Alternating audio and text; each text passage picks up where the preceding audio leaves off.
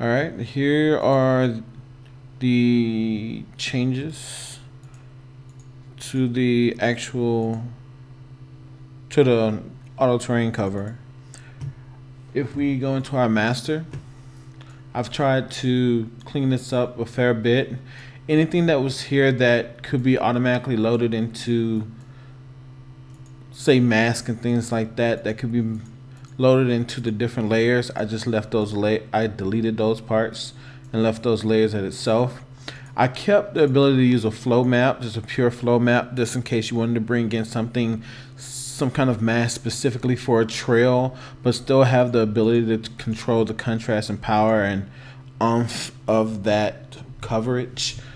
Um, I've changed the tile terrain to where you can actually dial in the terrain size for your given material instance that you want to use per terrain since before it was pretty much locked to the master material. So if you wanted to change that you had to um, you had to pretty much duplicate the entire material and that is something I didn't want. I wanted the ability to have to use this against multiple different types of terrains including like what I'm about to show you in a second um, one thing I had to add in is for tiled terrains, for some reason, I guess the UV is off shift by, I guess, half of the size of the actual terrain when you bring in tiled terrains.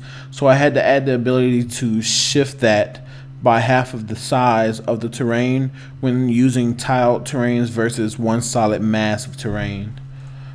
Um, we still have our global.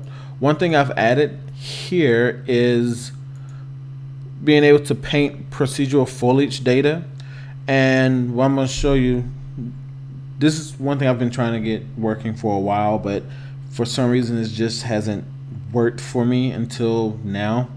So what this does is allows you to actually paint on the terrain a mask, technically an invisible mask, which is why I have ability here to show the debug color for what you're painting. But what you can do is paint an invisible mask and use the experimental tool that Epic has for the procedural foliage generator to generate those trees with their algorithm across that area without having to go in and drop in square tree blockers or things like that. You can actually have more control and paint that onto your terrain and then use the tool to stop auto save. You can use that tool to generate trees within that restricted area. Uh, I've reordered these a few, maybe. It's been a while since I looked at this order stack. I'm just trying to get a good understanding of what should be able to paint over what, what can cancel out another type of grass. Again, it's something that you can come in here and play with, but this is what I was trying to do to be able to get some kind of understanding on what exactly I want the hierarchy of the actual terrain to be. I've also brought in back the the view distance calculation before one of the reasons was so heavy because I'm an idiot apparently and I put a camera calculation with absolute world position inside of each and every single material function when technically since that is a heavy calculation it should technically be done once so I moved it outside of those functions and tested it and got better results with just passing that mass that's generated and calculated into each of those so they can do their own blending for your distance fades for your near and far textures. Um, I still have the grass type. I haven't found any way to make these actual parameters so you can come in and control the different grass types per material. But one thing I am going to do when I get around to actually trying to make a theme-based material, so like desert material, farmland material, applesauce material, whatever, I can just have the majority of all of this Ah, the majority of all of this inside of material uh, one material function, which will still work. And then the only thing that would be specific to the actual material would be the outputs that plug into this and the outputs that would plug into your final color where all of this other stuff will be will remain inside of a material function that can exist across all different material themes. So that's one solution I have for that. I'll see if I can get around to that when I'm as I'm making my game, but blah.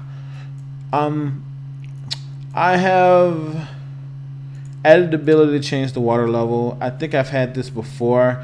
I tried to sync the uh, actual moving of the in-game water level with that, but I got uh, terrible results when I tried to do that.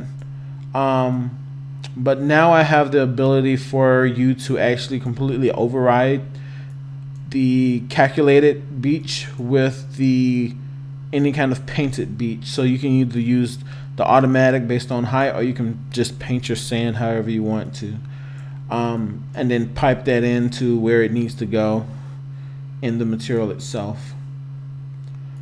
Uh, I think I also switched around the order of the sand in the riverbed because I actually ran into the case where I was trying to make a river to make sure that it was just like a little lake or lake or some kind of area, but it just so happened to be at the same level as where I had a beach on another part of the island, and I thought about it and I was like, I technically want to override sand with river, so I switched that around.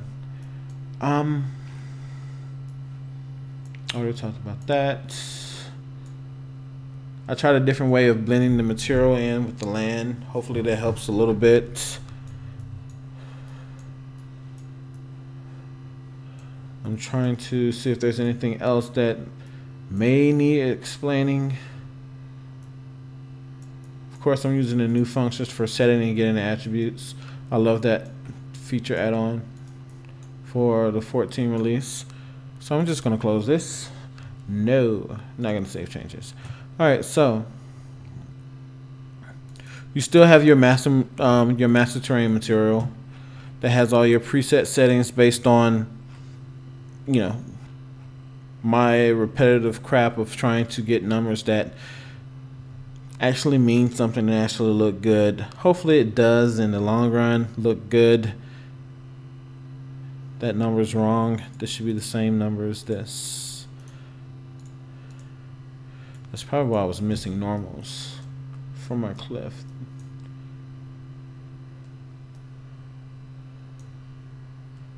Yeah, that looks that looks a lot better. Okay. Oh, that was a last minute fix, I guess. But all of this information is still in here. I've grouped a lot of things under the macro data, anything that pretty much covers the entire land for your terrain, which will probably better seen in an actual instance where it's used. So here's the one that I use for the tiled terrain. So here in the macro, I'm actually going to turn on this one as well to use the macro color. I didn't. I decided not to use this for my map, mainly because I didn't really like how the overlay looked with everything, so I just turned it off. But you have the macro, the macro brightness, which is currently set to zero, which is technically disabled. Um, you have the ability to change the terrain size. If you have a tiled terrain, then you need to make sure this is checked so it offsets the macro material properly to cover the entire terrain. Um, you have your distance fade, which is just 20,000 for just a default number for the distance fade to switch between the um, near material scale and the far material scale so you can get less artif not artifacts I need the English so you can get better tiling. No, not better tiling. So you can get rid of tiling for your actual terrain. Um, of course, you can tell I'm still not used to talking. So hopefully my words make sense. Um, I'm still not sure if I need the actual macro normal. Sometimes it looks better, sometimes it looks worse when I actually use the macro normal, but I still have it here as an option. Um, you have your macro trail to be able to add in your effects for your, you know, your sand and stuff like that. I am missing holes in my terrain. So you got all that stuff back there falling through here for all your little trail informations. Some of it's very light information, some of it's very heavy dirt information. Um, I really like how it looks in general, so hopefully that all works well for everybody if they're using that. Um, one thing I did notice I had to actually tweak some of my brightness to bring the flow map out when I overlaid it. So hopefully that's helped some. trying to see. Okay, so let me go in here and actually enable the procedural foliage color. Of which probably should have did that before the giant compile of data. So while that's compiling, we're going to go in here and actually explain it.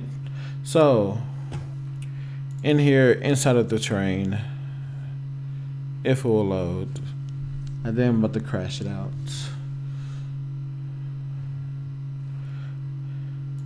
Inside the paint, you have all your different layers. Inside this layer, there's a procedural foliage data, which will just let you paint that mask information all over the terrain. Um, this is also linked to the procedural foliage, which is pretty much that solid uh, box that you see all around the terrain. That's what it's going to use to generate and use that data to generate this foliage type across the terrain. If I go inside this foliage type, you can come down in here in the landscape layers add a new row and say, hey, I want this to spawn anywhere this data is actually mapped on the terrain. And you can give your actual layer effect dial that you want to be able to control that in. If I can get a con good control of my camera right now. If you can look at this pink area right here, now that I have the debug enabled, everywhere that I've painted pink, which is pretty a big color to stand off so you can actually see what everything is doing. Um, well, where everything is going to be. You can see exactly that everything is staying within this area based on this parameter type. Uh, these parameters, I've I've been playing around with them to see how they work, how good it can work, and how it can spawn the trees. Uh, change these definitely to something that probably actually looks better than the crap that I have. Um,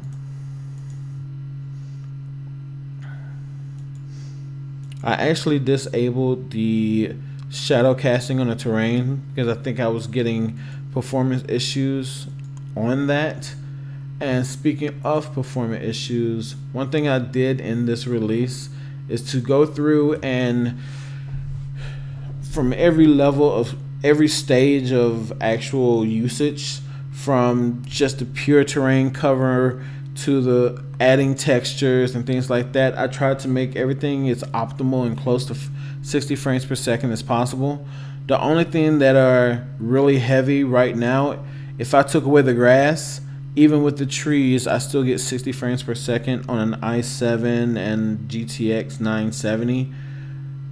Um, I still get 60 frames per second. I dropped down to 55 percent, uh, 55 frames per second. Normally, when I have the crack, the grass on a crazy scale, um, I've cranked it down a little bit in the release, so that way, majority of everybody should get a total of 60 frames per second. The majority of time walking anywhere around this uh, big terrain. I also did this based on the stress test of this terrain. Ah, uh, autosave. Um, pretty much this terrain is an 8 by 8 terrain with a size of 1000 1009 which pretty much is a 8k terrain area surface, which in general I usually see take a performance hit when you do something this big. So I wanted to make sure that even on a large, large, large scale, that the algorithms that I'm using to do all the slope calculations, to blend things together, all of that stays within as close as possible to the 60 frames per second.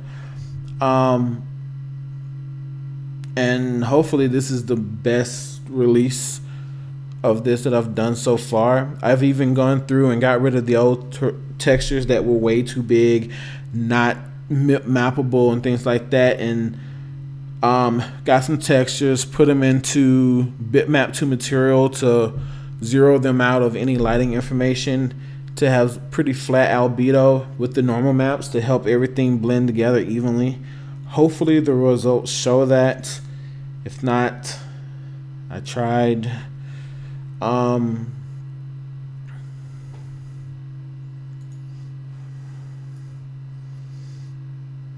one of my tiles they got corrupted from a blue screen I had earlier but I'll repair that before I upload it in a few minutes. But hopefully this shows off everything.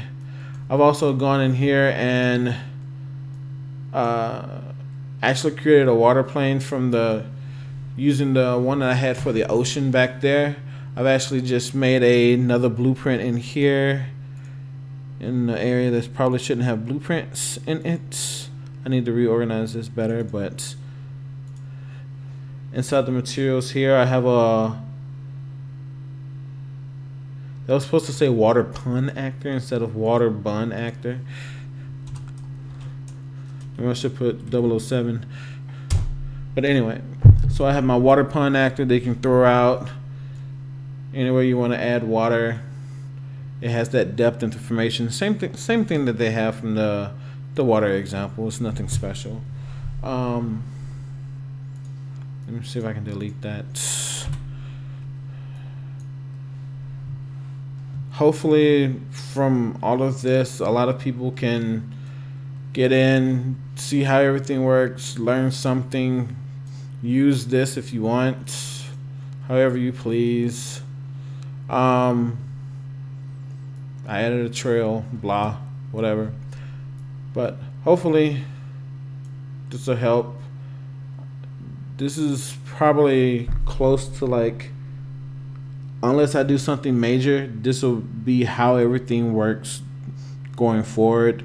I'll probably come through and reorganize all this crap, delete stuff that's not used anymore, maybe work on better caustics, something but most of the changes should be this release for stability, for usability, and hopefully all the people that's told me that it needs better performance and things like that. Hopefully this helps because I mean I went through and tried my best to look at all the ins and outs of what I was doing to make sure it was done right, and hopefully this is it.